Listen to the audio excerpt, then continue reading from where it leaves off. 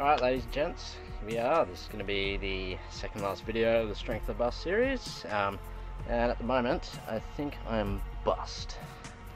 Maybe a little bit strength, but not much. Anyway, going to be going through my anthropometry measurements from before and after. You can see what kind of difference I make, so hope you enjoy. I will first mention that both of the times I took my measurements were upon awakening on the day of the 1RM test and retesting days respectively. I will also apologise that I'm terrible at posing and I should definitely not give up my day job even though I don't have one and I should just stick to talking nonsense and moving chunks of weight on a bar. Now that that's out of the way, I'll explain my results. I admittedly neglected the dietary component. I definitely did not consume enough kilojoules to effectively recover and make progress at the rate I was hoping for.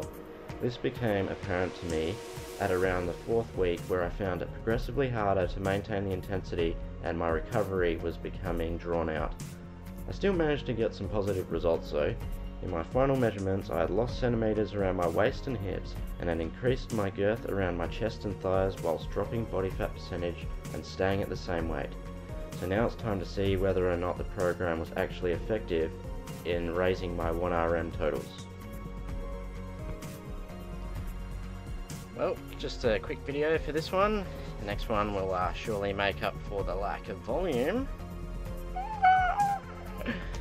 Thanks for watching guys. Feel free to subscribe or leave comments for any future content that you may desire.